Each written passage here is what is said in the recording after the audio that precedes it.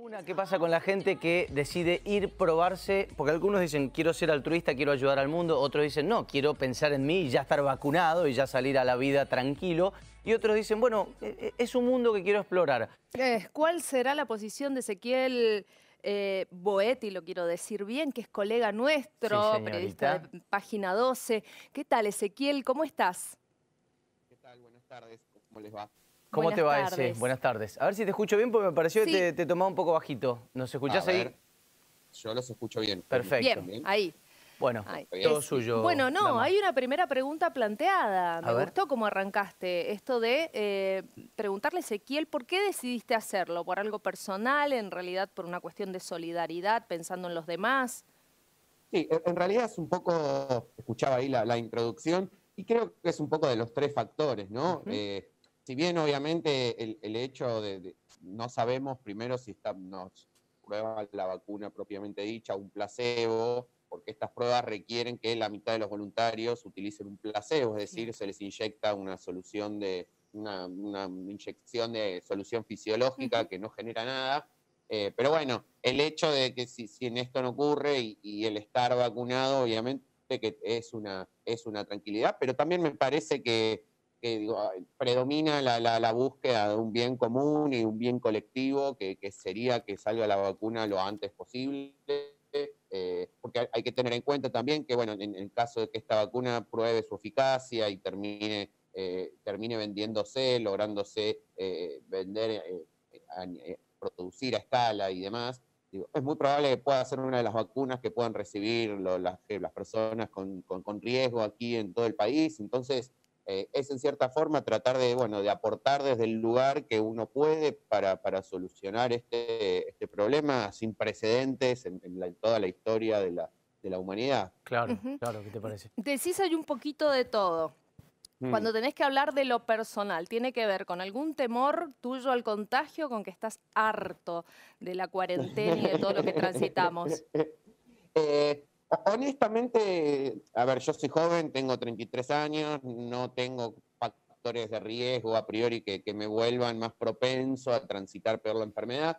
Eh, sé que obviamente no, estoy igual de, de expuesto que, que todos, pero bueno, eh, quizás eh, el temor en cuanto a los contagios, en mi caso, va más a contagiar a, no sé, a, a mis padres o, o alguna persona mayor o con riesgo más que a transitar uno la, la enfermedad. Eh, y un poco harto y un poco sí, la verdad que se está haciendo, que se está haciendo un poco largo, largo. pero bueno, eh, ahora ya empezaron, ya el tema de las vacunas se está moviendo con muchísima intensidad. eh, pare- aparentemente en, hoy en estos momentos, en estas horas, se va a confirmar que un laboratorio chino también vendría a hacer unas pruebas aquí Sí. en la Argentina. Entonces, digo, me parece que, que empieza a haber una, un, un horizonte, una luz al final de todo este, de todo este túnel, con lo cual eh, eso, es un, eso ya empieza a, empieza a transitarse con más tranquilidad, ¿no? Todo esto sabiendo, bueno, que ya hay un final en algún momento, se habla del primer trimestre del año que viene, marzo, abril, sea cuando sea la fecha, lo cierto es que ya empieza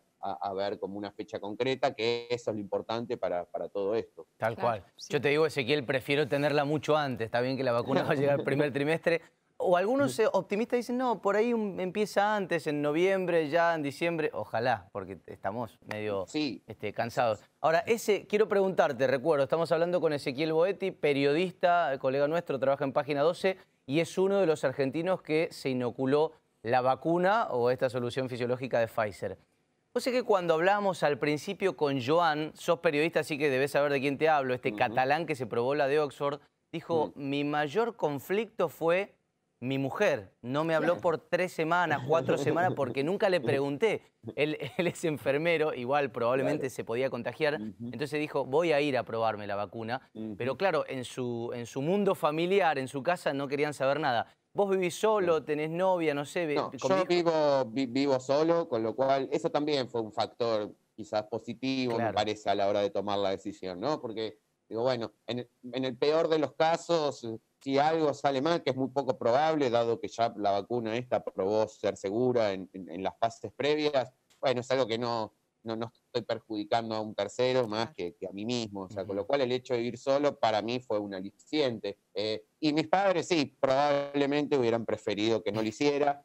pero bueno, igual de todas maneras apoyaron la, decisión porque lentamente empezaron también como a dimensionar la importancia que tiene esto, no solo por, por nosotros, por la vacuna en sí, sino también porque, bueno, la Argentina se posiciona se, se, codea con la élite de la ciencia mundial. Estamos hablando de Pfizer, un laboratorio de Estados Unidos, y BioNTech, uno alemán, o sea, todo, todo, todo, un, todo un, mecanismo detrás de control eh, que, que, a uno lo hace sentir súper seguro, con, con, poco miedo, eh, y, y, también esto, ¿no? Eh, es un aporte a que, bueno, que, que efectivamente termine esto cuanto, cuanto antes. Ese, ¿Cómo fue el momento eh, desde que te decidiste a ser voluntario, que entiendo eh, te inscribiste virtualmente, hasta que te avisan de, la selección y recibiste la, vacuna? Bueno, ¿nos puedes contar todo esto y, además cómo sigue el proceso? Sí, sí, e, el proceso fue, bueno, como bien decías, eh, abrieron inscripción vía web, un formulario online, que de hecho se anotaron, feliz, lo cual me parece una muy buena noticia, muchísima más gente de la que se necesitaba para el experimento, lo cual me parece que, habla muy bien de, nosotros como, como sociedad. Eh, yo llené ese formulario, a la semana ya me, contactaron para bueno, avisarme, notificarme que, había sido elegido. Eh, y mi primera dosis fue el viernes pasado, el viernes 14, eh, y mi segunda dosis es el viernes 3. Entre que me contactaron y fui la, la primera vez, pasaron unas dos semanas, eh, y ahí en el medio me, llamaron un par de veces para ver si tenía dudas, para ver, bueno, si seguía estando seguro, porque también eh, sé que varios medios se, bajaron un poco a último momento, digo, o repensaron un poco más y terminaron retrocediendo en su, decisión. Eh, pero sí, no, de, parte de ellos hay, un seguimiento, un seguimiento importante para, para con nosotros. y ahora, como decía, la segunda dosis en mi caso es el viernes 4 de septiembre, están separadas por tres semanas, la primera de la, de la segunda. Eh, después de eso, un par de semanas después, eh, tengo que volver a ir al hospital, al hospital militar, que es donde se hace todo este procedimiento, para un análisis de sangre y después es, un, es una prueba que dura dos años aproximadamente. Eh, y después tengo que ir cada alrededor de unos seis meses más o menos, como para que vayan controlando cómo, cómo, sigue, cómo sigue todo. O sea, es que Ezequiel, charlar con vos es una posibilidad tremenda. ¿Por qué? Mucha gente dice, bueno, ¿por qué tanta burocracia con las vacunas? ¿Por qué no aceleramos procesos como hizo, por ejemplo, Rusia y, adelantarnos en algunas cosas? Y otros dicen, no, no podemos hacerlo porque pueden ser catastróficos los efectos secundarios. A alguien que se prueba, que es voluntario, le tienen que hacer firmar algo. En eso que firmaste, ¿aparecen los famosos efectos secundarios de la vacuna de Pfizer? Sí, mira, lo que se observó, o sea, eh, eh, esta prueba corresponde a la fase 3 de la vacuna. Claro. claro. La, fase 1 es de seguridad y la fase 2 es de eficacia. O sea, cuando se prueba la seguridad quiere decir que lo que se prueba básicamente es que no haga más daño que, que, que puede, que lo que puede curar. Entonces, en cuanto a seguridad, esta vacuna ya se probó que era segura, el consentimiento daba cuenta de, todos esos procedimientos previos que se hicieron para demostrar que era, que era segura. Eh, por lo tanto, desde ese lado, efectos secundarios no, no, no, no, no, graves no hay. Sí puede haber, como, como le sucedió a algunos voluntarios, eh, síntomas típicos después de cualquier vacuna, ¿no? Como puede ser un poco de dolor de cabeza, quizás algunas líneas de fiebre, un poco de dolor de cuerpo. Digo, nada muy distinto a lo que sucede después de cualquier vacuna, vacuna contra la gripe o contra cualquier vacuna a las que habitualmente nos damos. Eh, eh, es decir, que, en principio efectos secundarios no, no, no tiene. O sea, por lo cual eso también eres otro, era otro factor para, para sentirnos seguros, ¿no? O sea, no había ahí en el papel, no decía tal, tal cosa, ¿no? No te no, especificaba. No, no, no, no, no, no, se, no se observaron en los procesos previos eh, digo, como, como efectos secundarios graves, porque además todas estas vacunas, la mayoría de las que están en esta fase, son vacunas que, eh, o sea, no soy periodista científico, aclaro por favor que si digo algo, eh, no, no, no, me, que no me mate algún científico me escuche, pero son todas vacunas que son como derivados de otras vacunas, o sea, procesos que ya venían desarrollando para otras cosas, que bueno, en un determinado momento eh, lo modifican para que sea eficaz para, para, para, atacar este, este virus. Entonces, eh, del lado de la seguridad, eh, el, proceso es, muy, muy seguro. Además, también tengamos en cuenta que, mencionaba recién el laboratorio Pfizer y BioNTech, que son los responsables, eh, el negocio que se les abre, si esto llega, si funciona efectivamente y logra escalarse la vacuna y demás, es enorme. Entonces, desde ese lado también uno está tranquilo de que no, van a salir a probar, a arriesgarse a que salga algo mal y, perder, no, solo un montón de dinero, digo, perder también como la reputación y todas esas cosas Obviamente, claro, claro. en medicina y en salud son súper importantes. Eh, entonces, desde ese lado, digo, también hay una, hay una tranquilidad de que, bueno, más allá de que uno quizás persiga fines más eh, altruistas ahí, como decían al principio, bueno, es, es, para ellos es un gran negocio, entonces también, digo, desde ese lado uno lo piensa que, que esto, no se van a salir a, a probar algo sin estar verdaderamente seguros de que por lo pronto es segura. O sea, lo peor que podría pasar, lo peor que podría pasarnos, nos han dicho los médicos, es que no, no, no funcione la vacuna, o sea, que no genere nada. en el peor de los casos es, es eso, que, que, no genere nada, que no logre generar los famosos anticuerpos, pero, pero no, el, o sea, claramente es algo que no, no, va a generar más daño, no genera más daño que, que, que, que podría llegar a curar. ¿A todo esto sentiste algún malestar después de la aplicación? No, no, para nada, para nada. En mi caso particular, no. No, no. No, solo un poco de, dolor, así de molestia en el brazo donde me, inyectaron la, dosis. Eh, pero insisto, es algo todo normal. O sea, me, explicaron que podía llegar a suceder eso, porque como ocurre con cualquier vacuna. Eh, de hecho, ellos antes de, vacunarme preguntaron cuál era mi mano hábil para vacunarme en el otro, en, en el otro brazo. O sea, está contemplado que puede llegar a producir un poco de hinchazón, quizás en el brazo, un poco de dolor en los días posteriores, una sensación como de, brazo dormido, por así llamarlo, eh, pero no, por fuera de eso todo, todo normal. Y, otra cosa que hay que aclarar es que la, nuestra, la vida de los, de los que fuimos voluntarios y los que estamos siendo voluntarios de este proceso sigue de manera totalmente normal, o sea, con todas las comillas que tiene la normalidad en este caso, pero no, no tenemos ni que aislarnos, ni tampoco salir a contagiarnos o, a exponernos por demás a, un contagio, o sea, simplemente es, esperar a que, a que, bueno, ver si efectivamente el cuerpo logra generar los, los anticuerpos por sí solo. Bueno, muy, muy interesante todo lo que se va a poder estudiar de tu cuerpo y de los otros cuatro mil y pico de, voluntarios, por lo menos acá en Argentina. Yo quiero que nos contes un poquito de la historia. Por horario calculo que se está cumpliendo ahora, una semana. Contabas en tu crónica, eh, sí. tres de la tarde aproximadamente. Eh, sí, sí, más o menos. Tres, cuatro de la tarde. Salís del hospital militar a, la siesta, a la tardecita temprana, después de que mm. te hayan vacunado con eso que puede ser eh, un antes mm. y un después en la humanidad. ¿Qué viste? ¿Qué sentiste? Dame, danos ese momento para vos. Y eh, honestamente eh, sentí un poco de, nervios previamente, ¿no? No, no, no por el proceso en sí, sino por lo que implica el proceso. Digo, porque si uno, la experiencia en sí es muy parecida a un, un análisis preocupacional, o sea, fui, estuve como cuatro horas ahí en el hospital, primero charlé con un médico, después me hicieron un hisopado, después un análisis de sangre, o sea, e, en ese sentido, eh, si uno lo vacía del contexto, es un análisis clínico completo casi, eh, como, como, cualquier otro, pero sí, pero sí fue, fue, una sensación como, como de, de, alivio cuando salí, como bueno, ya está, pasó. O sea, ahora esperar, ¿no? Eh, simplemente queda, queda eso, pero sí, había un poco de, de tensión y de nervios previos, porque bueno, eh, a medida que también lo que me pasó fue que a medida que, pasaron las semanas eh, y que se acercaba la fecha, bueno, empecé a tomar como también más conciencia de, lo relevante que era, que era esto, ¿no?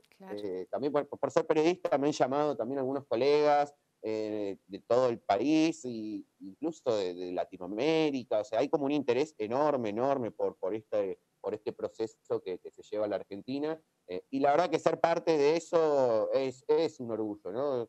Uno siente, eh, tanto yo como con otros voluntarios con los que tuve oportunidad de hablar, uno siente que, está haciendo algo como aportando un pequeño granito de arena para, el país y para, que, para todos nosotros, porque digo, eh, lo que ocurre ahí es de interés público, es algo que nos va a afectar a todos, por tanto, claro, mientras más se sepa y más se conozca, eh, por mi parte, me parece que, es lo, mejor. Decías que tuviste la oportunidad de charlar con otros voluntarios.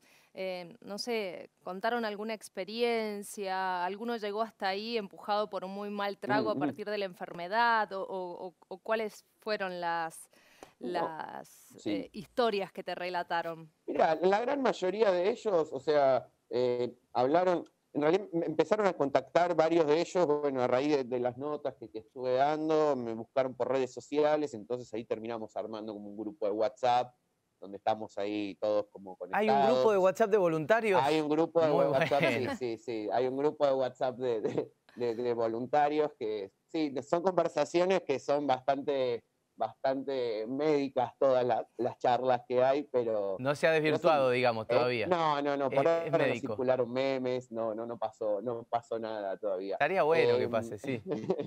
y en algún momento va, a suceder. Eh, no, y todos, la mayoría lo hace también por esto, ¿no? Movidos por motivos personales y de tratar de, colaborar para que esto mejore. Hoy contaba uno, digo, bueno, hay, hay, hay eh, uno de los requisitos, eh, eh, una de las, cuestiones que tiene esta prueba es que no había requisitos excluyentes muy grandes, solo no podían participar a priori mujeres embarazadas o en etapa de lactancia.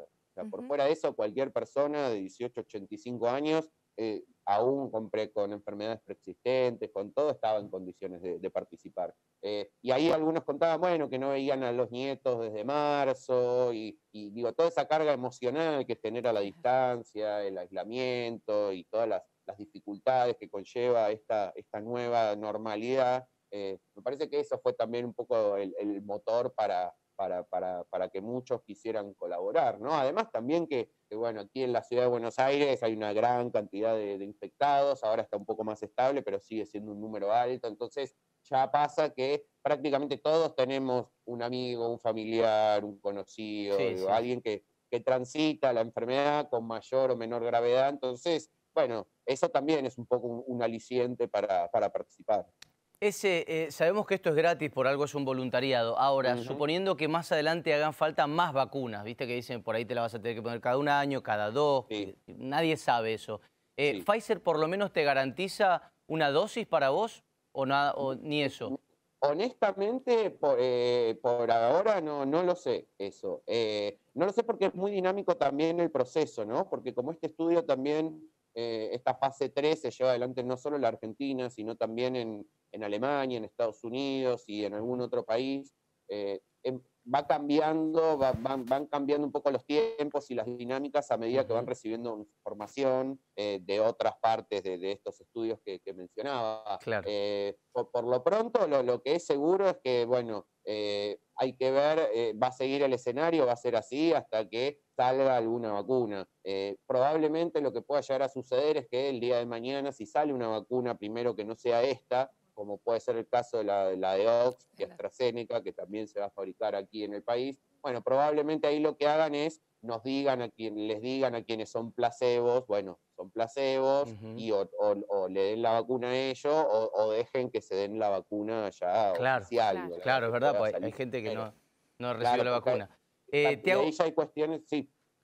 Perdón, te interrumpí. Te hago la última mía y muy cortita. Tiene que ver con lo último que dijiste, así eh, fuera de lo científico, fuera de lo fáctico, vos, ah, eh, por intuición, ¿crees que te pusieron la vacuna o crees que te pusieron el placebo? Vos tenés que pensar por una de las dos. Mirá, honestamente, eh, también uno de los voluntarios comentaba ahí algo que le dijo el, médico que, le, le, hace el seguimiento a él, le dijo que tener síntomas es un buen síntoma, pero no tener síntomas no es síntoma de nada. O sea, con lo cual a mí me gustaría pensar, yo cruzo los dedos porque, porque haya sido la vacuna, pero bueno, como no tuve síntomas ni nada, desconozco si pudo haber sido placebo o si mi cuerpo asimiló bien la, vacuna. Ahí en el eh, grupo de WhatsApp eh, manifestaron malestar muchos de los integrantes o no? No, no, no, no. La mayoría la mayoría la transitó, eh, hay algunos que todavía no están vacunados. Esta, prueba recién empezó eh, el, día 10, o sea, esta es la segunda semana completa, eh, y las primeras, los primeros días fueron más que nada médicos, personal de seguridad y demás.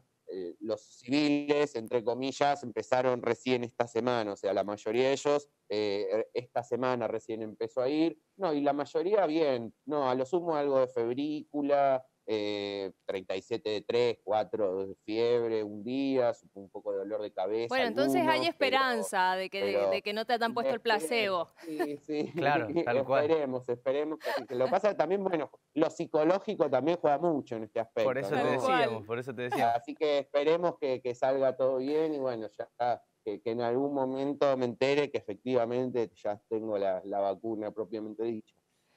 Bueno, Ezequiel, ha sido un placer hablar con vos. Muchísimas gracias por este contacto y, bueno, y gracias por, por, esta voluntad. Bueno, no, por favor, gracias a ustedes por el contacto y bueno, ojalá que, que funcione y que salga todo bien. Ojalá. Gracias, Ezequiel. Un abrazo grande. Ezequiel Boetti, eh, colega, periodista de Página 12, que decidió ponerse la vacuna, decidió ser uno de los voluntarios de Pfizer, no sabe y probablemente no sepa nunca si tiene el placebo o le pusieron la vacuna. se lo van a decir, se lo van a decir. dentro de 26 meses recién. Bueno, se lo van a decir, se, va a enterar, se va a enterar. Se va a enterar. y ojalá que salga de la mejor manera posible. Fíjate, estamos hablando de algo que puede cambiar el mundo como lo conocemos. Claro que no es un detalle en lo que está participando Ezequiel como, como otros 4.300 argentinos. Digo, participar y si sale bien, es... Y si sale bien, no, nos saca este tema de encima. Es todo un logro tremendo. Bueno, Lina.